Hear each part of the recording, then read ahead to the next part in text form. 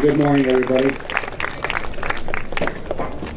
What you're going to see here is a, a simulation, obviously. Uh, we put this together in order to give you just a small glimpse of some of the things that happen at a uh, crash scene.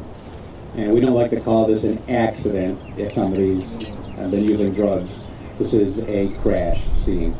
But I want to give you a little bit of a talk, and I'm not going to bore you too much with it because I know that you've probably had some of this already with regard to alcohol and other drugs as well.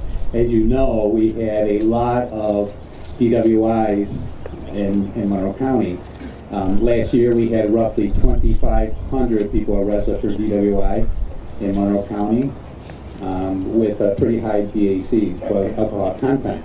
Alcohol poisoning has taken a life of a person.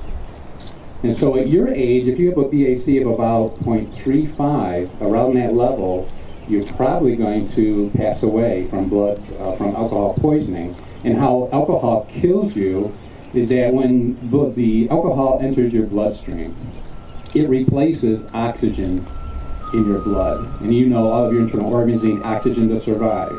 And by replacing oxygen, your internal organs are depleted of that and eventually will become paralyzed and eventually will, will stop working. So most people die from their breathing stopping, your lungs stopping. And so if you are arrested for DWI, the police officer, and you're going to see probably some of this happen here, is going to ask you to take what's called a breathalyzer, a DataMaster we use now as a computer. It takes a breath sample and it analyzes through that breath sample how much alcohol by weight is in your blood.